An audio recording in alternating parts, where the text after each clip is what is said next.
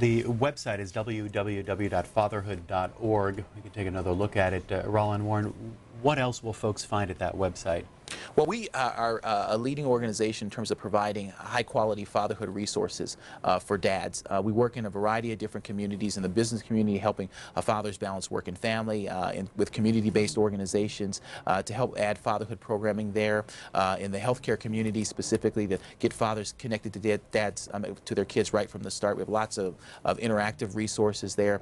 we work in, the incarcerated community. We're the largest fatherhood program pro providing work in prisons, do a lot of with the military through our Deployed Fathers and Families program. So skill building resources, tips on how to be a better dad, uh, ways to get your community involved and really turning the corner on this issue. And I'm hopeful about it because we know that this isn't the way it always was. And we, we know that there's an opportunity here to, to really help kids have the best dads that they need.